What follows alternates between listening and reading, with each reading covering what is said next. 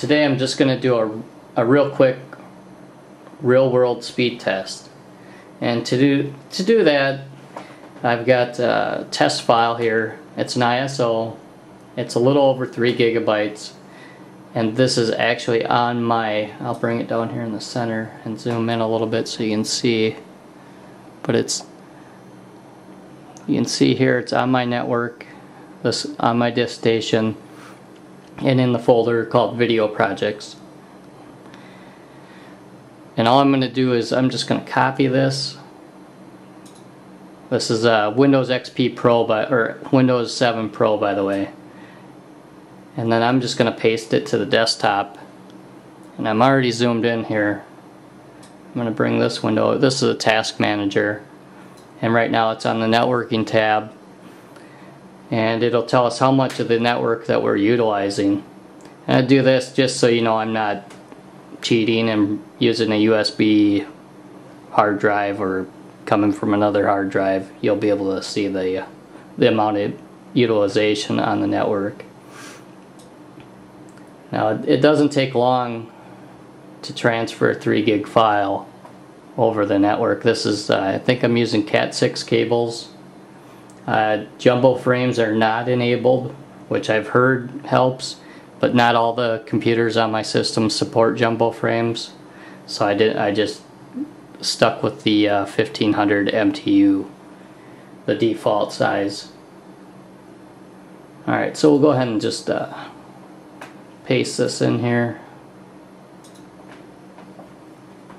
We'll click more details and you can kind of see I'll zoom in a little bit more. It, it typically always stays above 100 megabytes per second. And this, this entire file, I guess I didn't time it, but it's really not more than maybe 15, 20 seconds I, I would put it at. Again, for a little over a 3 gigabyte file. And I'll bring the task manager down here where we can see it well. And you can see that at the top of the scale here we got 100% and it didn't quite hit 100 but it's it's right up there. And you can see the the peaks. It's pretty steady overall too. Now currently I don't know if this will make a difference but I'm running six Seagate hard drives they're vary in size, but they're all 7200 RPM. I've heard that can make a difference in your in your speed results. Now again, that was just I just copied that file to the Windows machine. So now I'm gonna I'm gonna go ahead and write to the disk station, and we'll see what we get for speed on that. And this file here, I mixed it up. This is an MKV, and this one is about three three gigabytes. It's just a little bit under. So again we'll just copy it. And now this time I'm going to I'll bring it down here where we see a little better. I'm just gonna go ahead and paste it right in here.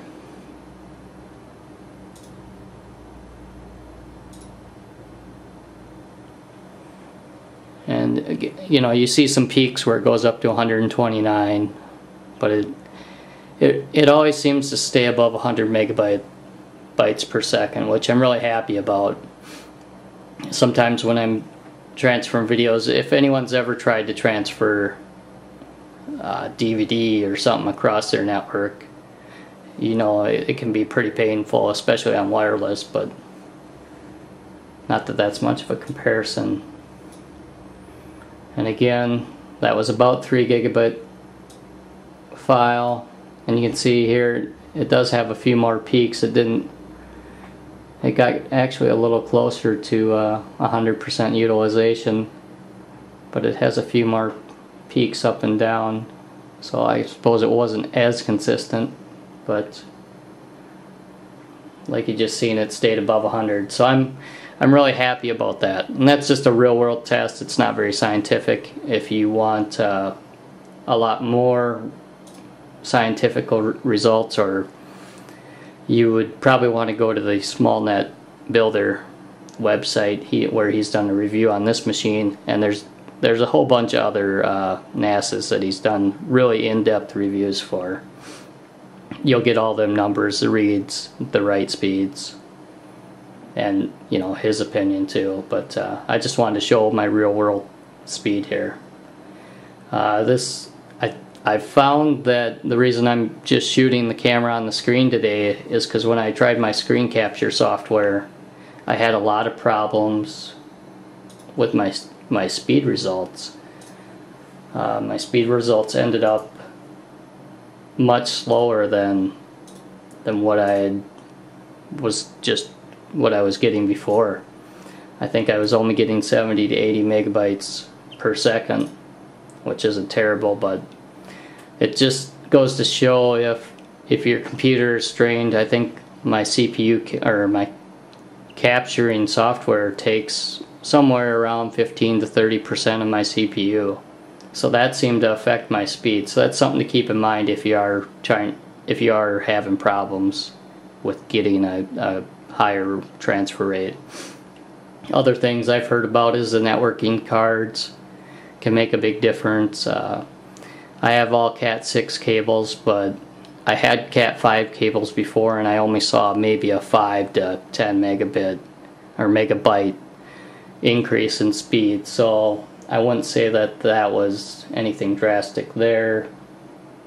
And it comes down to I have some slower machines on my network, some older computers, mainly Windows machines, and they top out at about 70 to 80 megabytes. And I, I want to attribute that more to hardware and less to my disk station because this machine seems to have no problem. But I know this this uh, Windows machine does have an SSD drive in it, so I think that with it's a it's a newer CPU, it's a Core i5. It I don't know if that has much to do with with it as much as the hard drive, but I know a hard drive is a pretty good bottleneck too. Alright, well that's been uh, kind of a quick real world unscientific test. Uh, thanks for watching and I hope to have more videos out in a week or two here.